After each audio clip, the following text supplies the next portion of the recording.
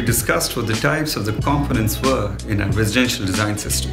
If you haven't seen the video, go down in the links and watch it. But in this video, we will discuss hot, sinful, and polygamous relationships between the sequence of spaces. Yes, it's getting hot in here.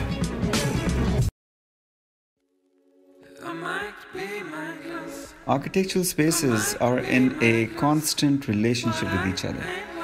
Most of these relationships are of convenience. You know, we need entrance lobbies to act as holding areas for a large amount of people who are either entering or exiting a building, for example. So, the sequence of spaces is determined by the function of the space alongside other factors but we're not going to get into those at the moment.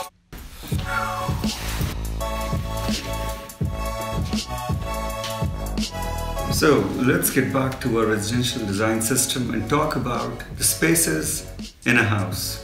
A house has more or less the following components um, bedrooms, toilets, living room, kitchen, storage.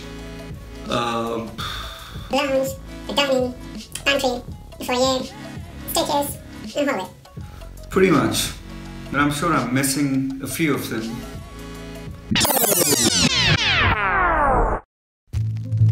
To discover the relationship between the spaces,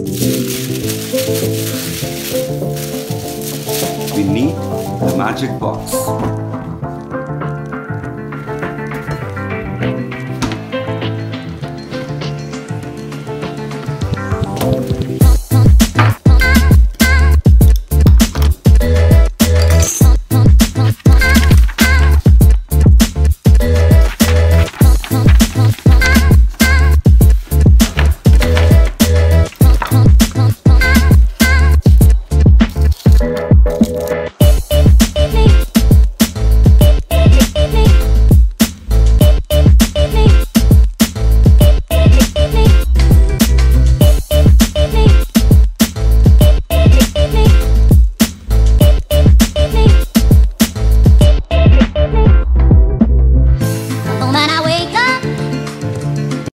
Ladies and gentlemen, it's time for the main event of the evening.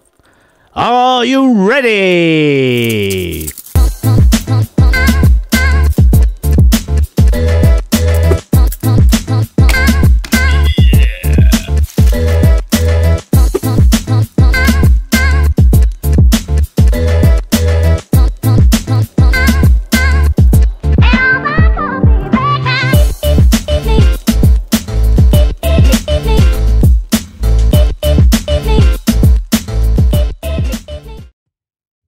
Awesome.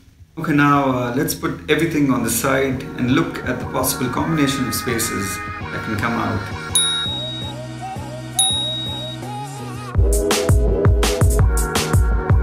You see, all components are in a very uncomfortable relationship with each other until the relationship is clearly defined.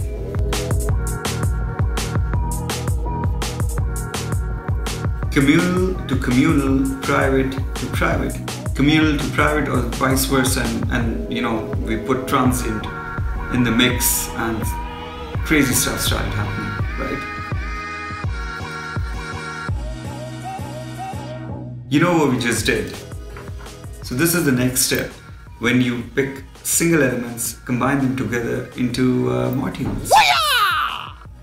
Right, so you don't remember the components, modules, and units, right?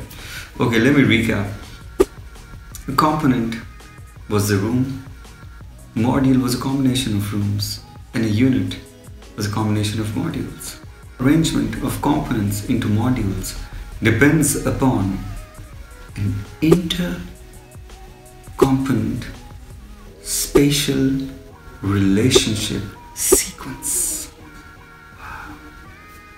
You see, all components are in a very uncomfortable relationship with each other until the relationship is clearly defined. We've, we've just defined all the possible combination of relationships within our residential design system. Other possible variations? See around me. Interesting, huh? So, thinking in modules makes it easier to think about the combination of spaces.